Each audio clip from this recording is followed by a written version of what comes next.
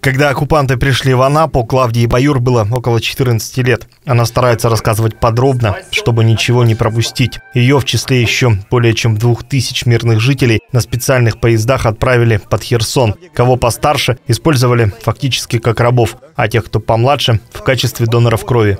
Оттуда вывозят этих детей, уже мертвых. И мы тогда уже все. Мы тогда решили, пусть нас постреляет. Мысль о побеге не покидала Клавдию Григорьевну ни на секунду. Чудом через линию фронта просочились новости, что Анапа освобождена. Мы были на Украине, и тогда погнали нас э, на поезде, чтобы нас в Германию. А мы, нас дядечка, дядя Федя, а вагоны были, что этих коров возили.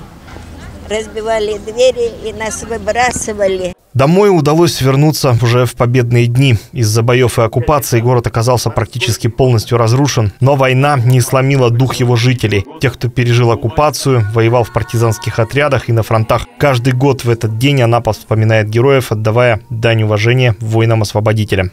Я хочу обратиться к вам, сказать вам большое, огромное спасибо, уважаемые дорогие ветераны за то, что сейчас мы находимся здесь, под мирным небом. Вечная память погибшим, которых нет среди нас. Они воевали за то, чтобы мы все сегодня стояли здесь. Я хочу обратиться к молодежи, молодому поколению. Пока мы будем помнить День Победы, даты освобождения наших городов, мы непобедимы с вами. Ветераны совершили подвиг не только ратный, но и трудовой, восстановив Анапу, полностью разрушенную после фашистского нашествия. В первые годы приступили к восстановлению. И буквально в мае 45 -го года первый санаторий имени Ленина принял фронтовиков на лечение. И это была трудовая победа.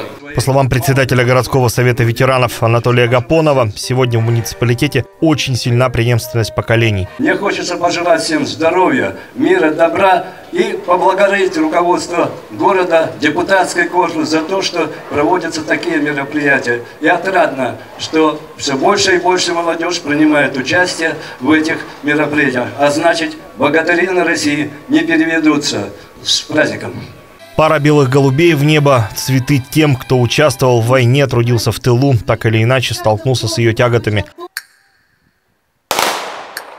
После минуты молчания и салютного залпа к мемориалу «Вечный огонь» возлагают венки памяти от губернатора Кубани Вениамина Кондратьева и законодательного собрания края, от Анапского районного казачьего общества, политических партий и общественных организаций, исполняющий обязанности главы Анапы Юрий Поляков и председатель городского совета Леонид Кочетов, а также руководитель Совета ветеранов, возлагают венок от благодарных анапчан, в Анапе стало традицией приглашать ветеранов на прием главы после митинга. Юрий Поляков еще раз от души поблагодарил участников тех страшных событий за мужество и стойкость, за мирное небо над Анапой.